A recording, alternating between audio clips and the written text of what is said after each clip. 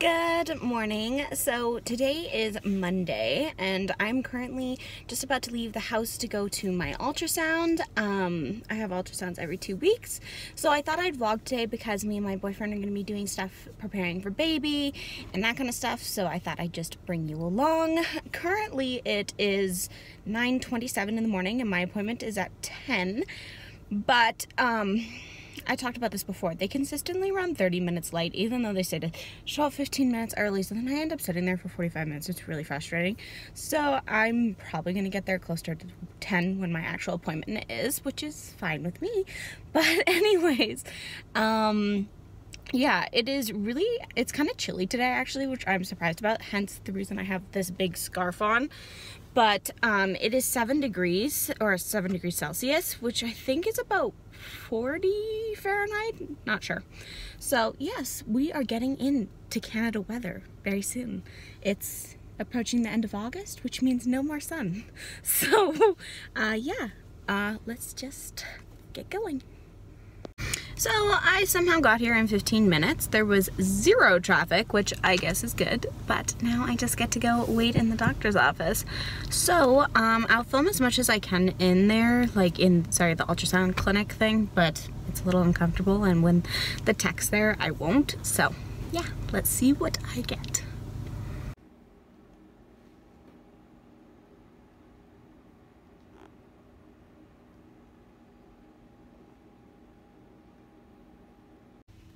So I am just finishing my appointment now. Um, it is just about 12 o'clock and everything takes forever here and it's really frustrating because you just sit and wait like a lot of the time but I get that they're busy and that's fine I'm all done now and uh, both babies are almost four pounds which I am super excited about so yes um, I'm just gonna go pick Brett up and we're gonna run some errands. So it's the next day, but I thought I'd show you what I picked up yesterday. Um, this vlog is probably going to be a combination of a whole bunch of days, just doing stuff, getting ready for baby. So we picked up this shelf and these Ikea brackets. The Ikea brackets are like a dollar, and then the shelf was like $6, so super cheap. To put above this sign on this wall, if you can see, because the baby monitor, we turns out we live in an older house. The only outlet that works is behind here, so we have to put it up here to look at the crib. So my boyfriend is going to have to set that up tomorrow. Or I'll do it, or my mom will help me. But it is gonna have to go up to make so this room can finally get done and I can film an official nursery tour. Next thing I picked up was some more baby clothes with my mom. So I decided, someone commented on one of my videos saying that their newborn at six pounds and some ounces didn't fit in newborn clothes. They need the preemie clothes. So since my babies will be born no later than 37 weeks, they're currently four pounds, right, as I mentioned, but they expect their growth like to slow down a bit. They're not going to proceed as fast as normal babies would because they typically say a pound every two weeks.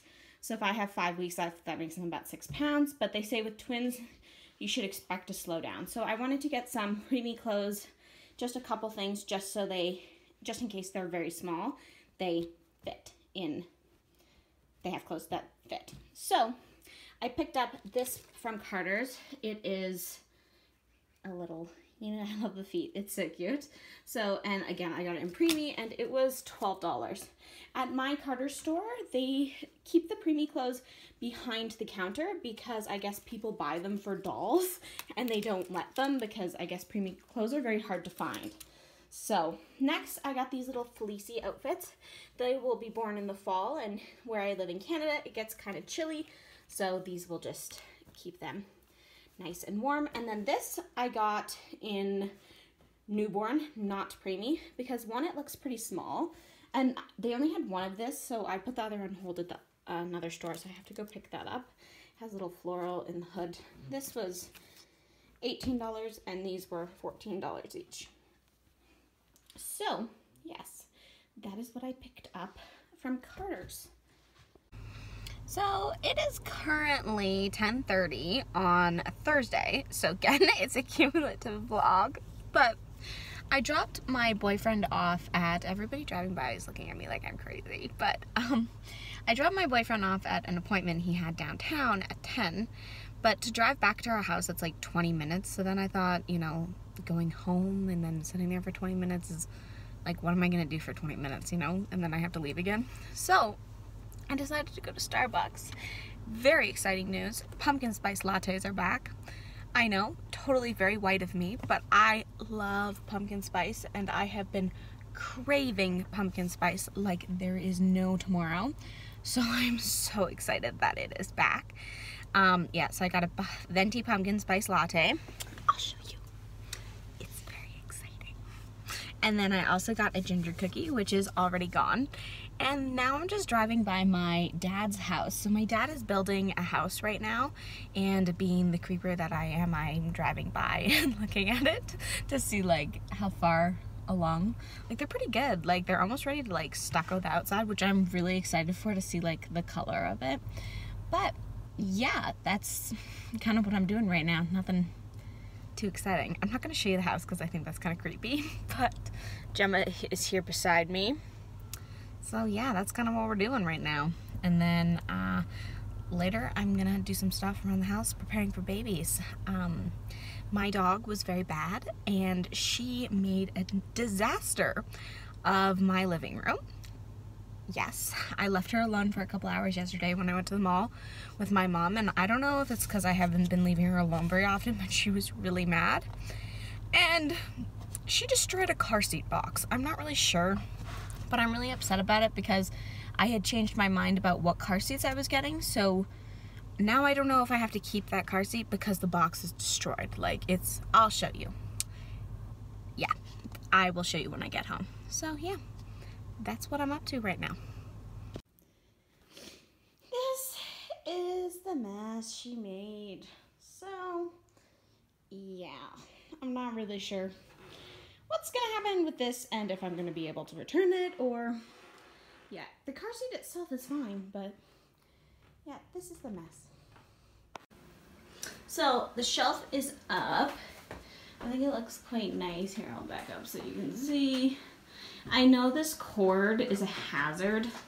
So for now, it's not an issue because like, obviously they can't get it. But um, I'm not really sure about what we'll do in the future once they start like playing in this room and stuff because when even when they can like move or roll around they will never be left alone on the change table so I'm not sure about what we'll do that with that long term but the shelf is up it looks nice it is not crooked even if you think it is it's not because I used a level very impressed with myself so I'm gonna start packing my hospital bag which I am putting in my diaper bag so yes, um, that's what I'm gonna start doing now. So I picked up an extra um, sheet here for the changing pad. It's just the exact same one. It's just so if it gets dirty. And then I also picked up this sheet. It's an extra crib sheet. Um, it's like jersey material. It's really soft and it matches like the colors in this room.